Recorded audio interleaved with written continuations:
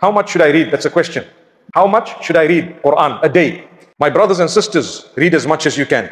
The more you read, the more time you will have. People say, I'm not reading the Quran because I don't have time. The creator of time, that's his kalam. Read it, you will have barakah in your time. When you don't have time, pick up the Quran and read the Quran. Look at how you will have time. It's a miracle of the Quran. Try it.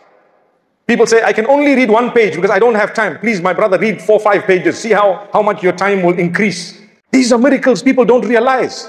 It's tried and tested. I know a brother who told me that I used to read one page a day, fearing the time. Now I read one juz a day and I have a world of time. So much of blessing in my time. May Allah help us connect. Shaitan will come about with every and any excuse for you to disconnect because he knows this is the most powerful kalam. Without a doubt, every Muslim will tell you. If I were to ask you which is the most powerful kalam on earth, the most powerful words and speech on earth, you'll say it is the word of Allah. No one has a second answer.